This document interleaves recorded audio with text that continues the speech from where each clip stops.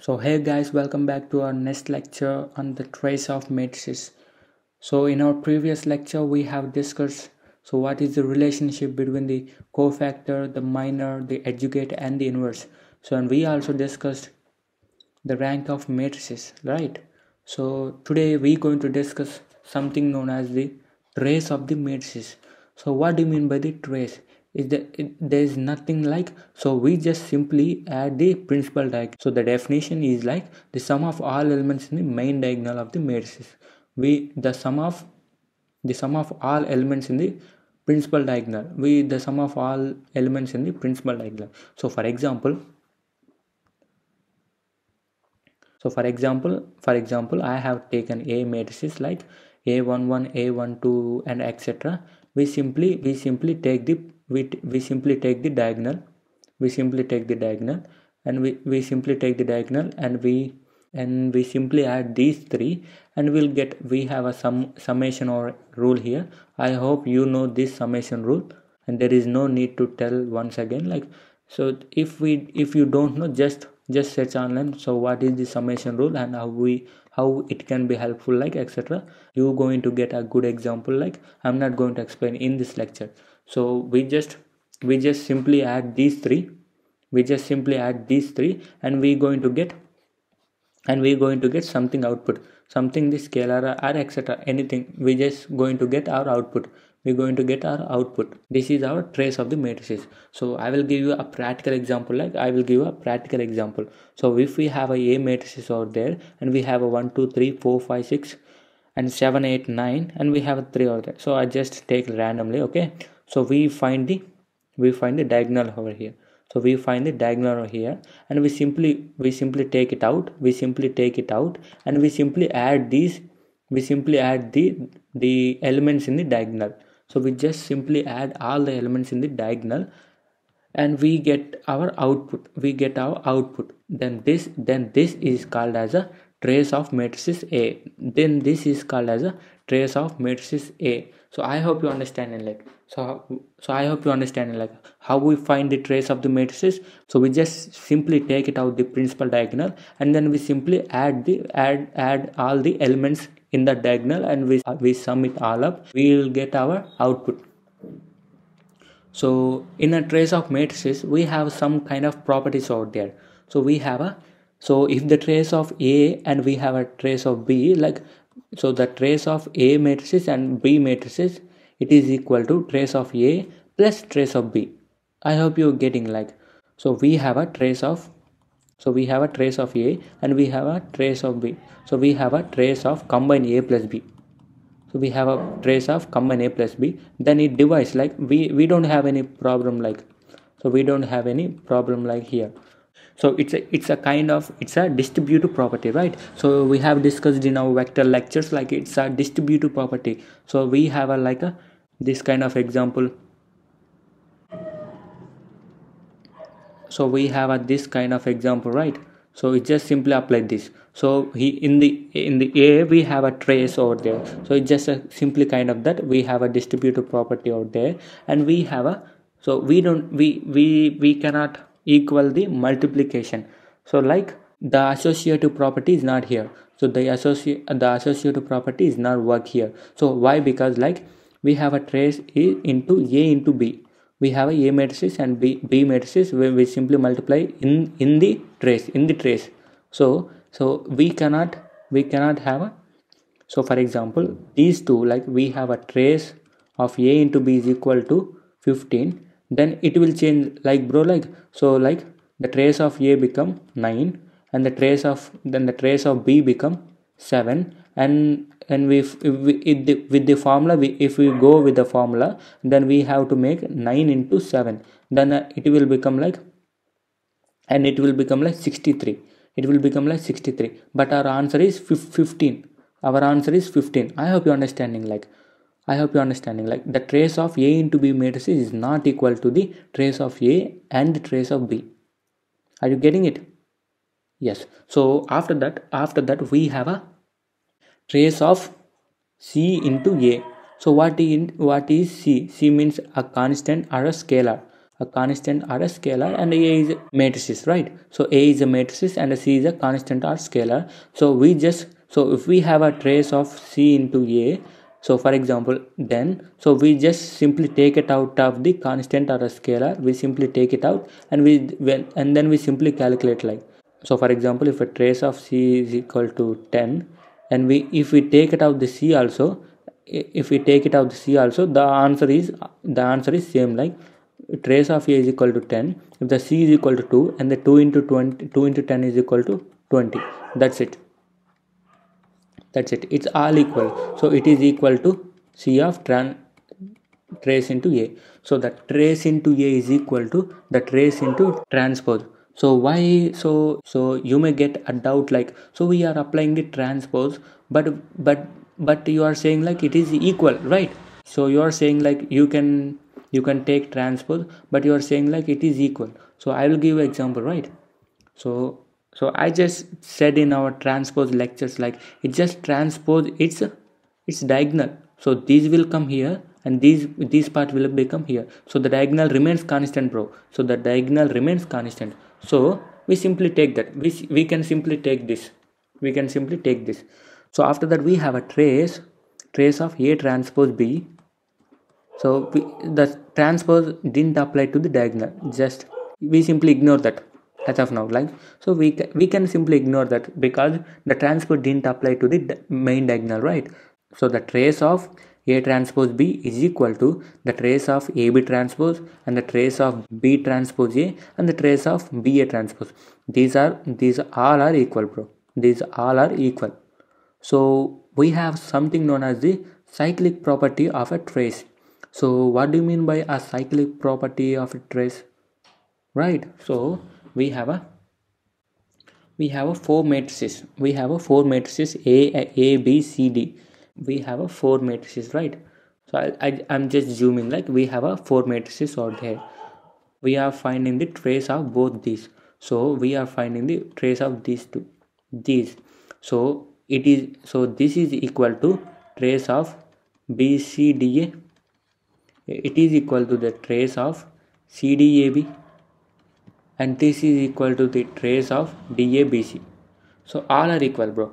So all are equal. So all are equal. So just just type of just so just research about this the cyclic property of the trace. You you going to get a good examples out there. So so in a in a 10 minutes of lecture i can't cover all of those.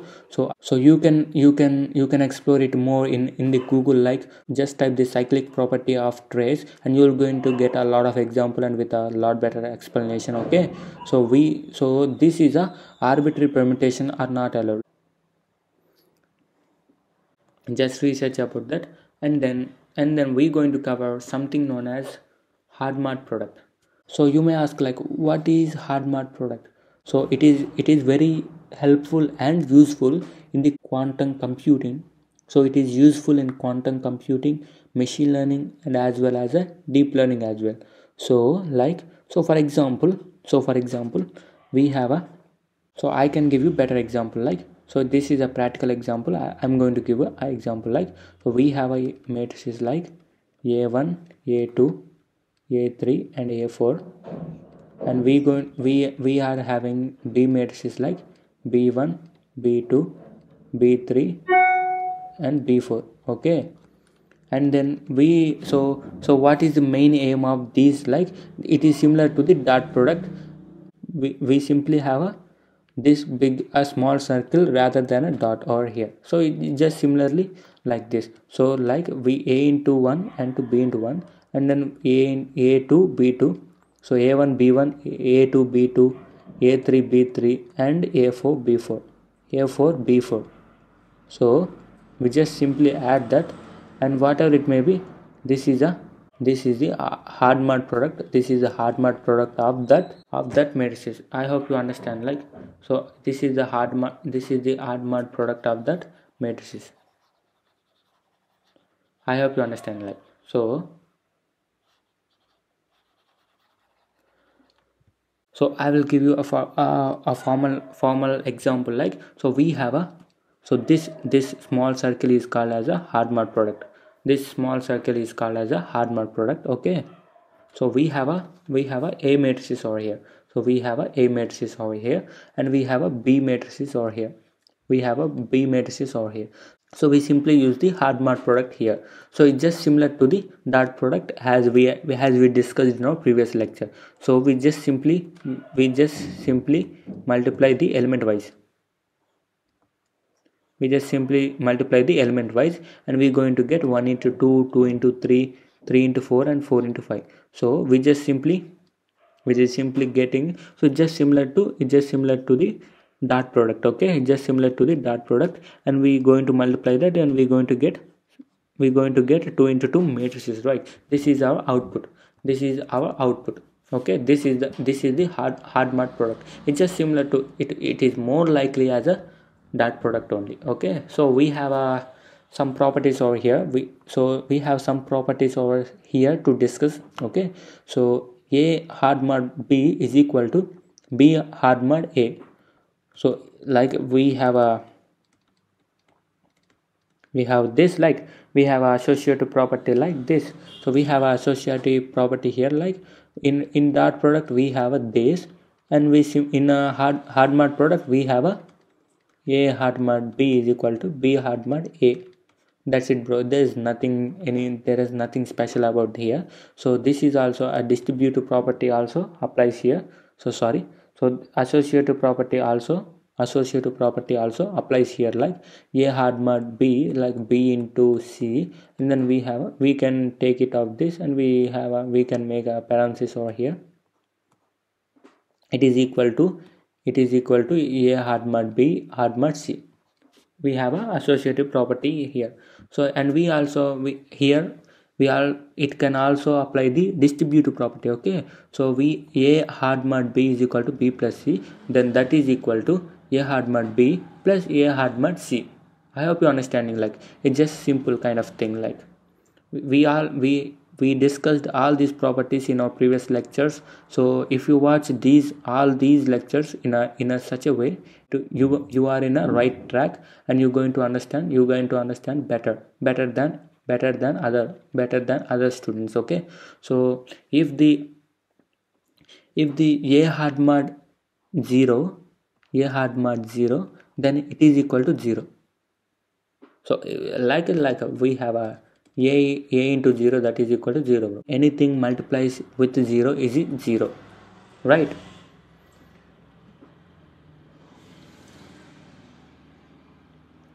so after after finishing the Hadamard product we have a something known as Kronecker product.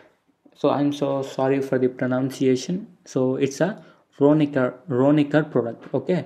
So it just multiplies the entire matrices with one element.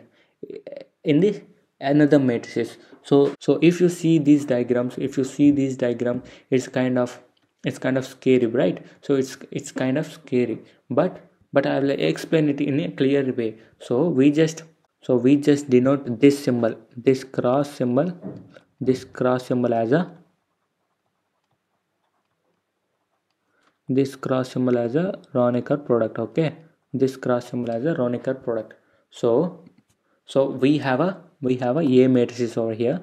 We have a a matrices over here. And we have a b matrices over here. We have a b matrices over here. So so the what what so what we apply here in a Kronecker product? So the a the first element of the matrix a multiplies with the whole with the whole of the matrices b. Are you understand what i'm saying? The whole of the matrix a and b, b with the whole of the matrices b and the c the whole of the matrices b and d with the whole of these matrices i hope you're getting like so the a a into whole whole matrices b and b into the whole matrices and c into same and d into the whole matrices. So we just simply it's just a kind of scalar matrix product. So you can look you can look in our previous lectures how we do that scalar matrix product. So you can have a good idea out there. So we just simply it we just we just simply calculate these we just simply calculate these and we we going to get our output as a 4 into 4 matrices. We're going to get our matrices output as a 4 into 4 matrices. So the 2 into 2 so the 2 into 2 matrices the 2 into 2 matrices become become 4 into 4 matrices. Like the 2 into 2 matrices will become the 4 into 4 matrices in the Kronecker product. I hope you understand. So i will give you a practical example so that you can clearly understand. Like so the practical example like we have a we have a a over here bro.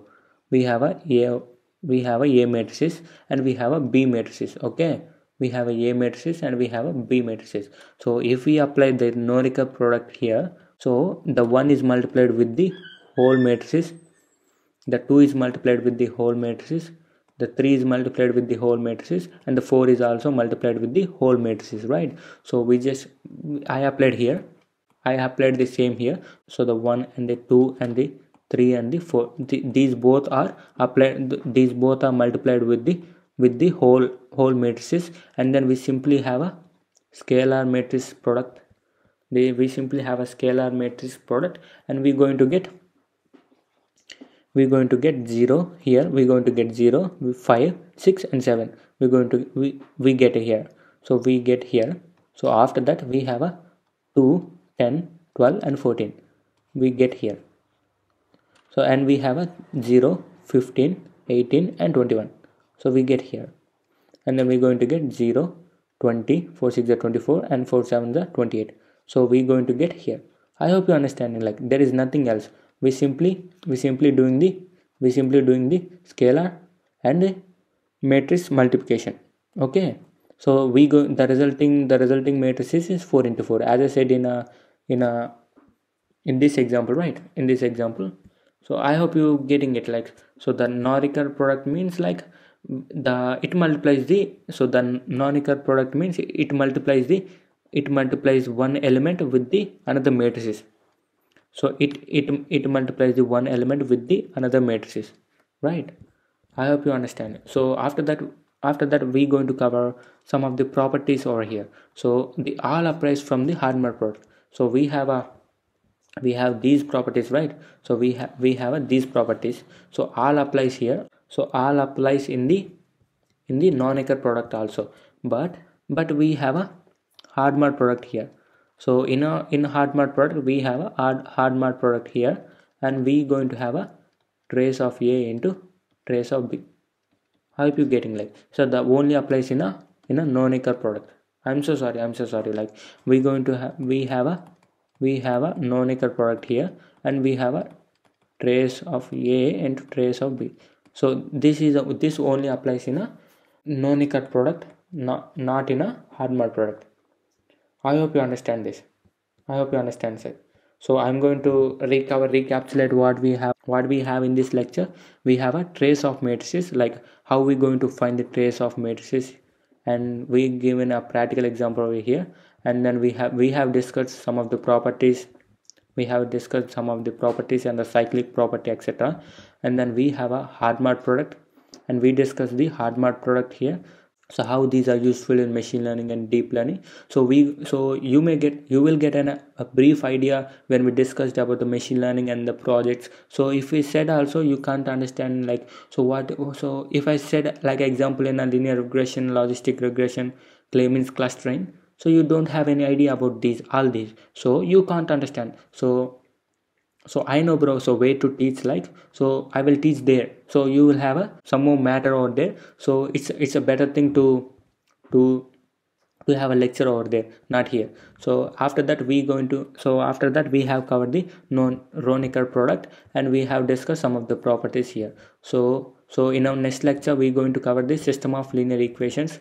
So we're going to cover the system of linear equations so we're going to cover the all these and we have a practical exam so that we have a so after that we we're going to cover the decomposition of matrices. So what is decomposition of matrices and after that?